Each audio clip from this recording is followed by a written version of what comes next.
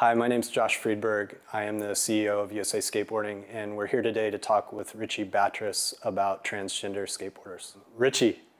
Hi. it's nice to finally meet you. Thank you, Josh. So, you heard about the contest, and you filmed your line, you submitted it for the women's division of the National Championship Street Contest. Tell me a little bit about that moment that you, you pressed submit. That, that's funny because that is the moment where it all kind of came to me. And it wasn't up until I got my line. I almost choked. I was like, I'm, I'm not to do this, guys. Like, that's when I kind of figured it out. It was like, oh, this is kind of out of out of the natural. I guess it's against the grain in some sort of way. I almost didn't do it, but I just uh, I just knew it was right. When I got the entry and I saw it come in, we haven't had to have a process in place for transgender skateboarders yet. You're the first one that's that's entered a contest that we've sanctioned.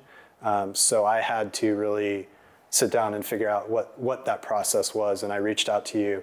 I just said, Ricci, I really appreciate you entering the contest, but I don't know what what the rules are right now, and I need to figure that out. So I talked to the United States Olympic and Paralympic Committee to get advice on what to do in this situation and talk to other national governing bodies. And then I was able to kind of get to what appeared to be the best way to determine the path forward, which is the, the current International Olympic Committee rules on transgender athletes in Olympic competition. How did you feel when, when I hit you back and said, these are the rules, there's some specifics that we have to follow because of where we are in the Olympic movement. There's a lot of excitement, but a lot of fear because of the, the nature of it. I, I thought I had it. You know, like i I've never been asked to prove my femininity to anybody.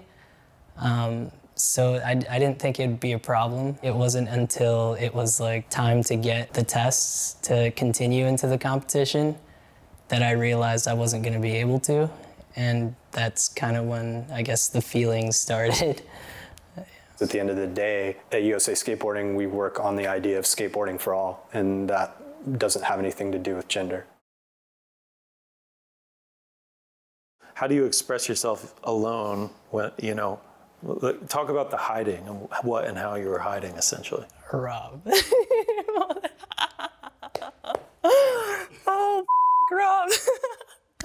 Okay, okay. I mean, what with whatever you're comfortable with. I mean,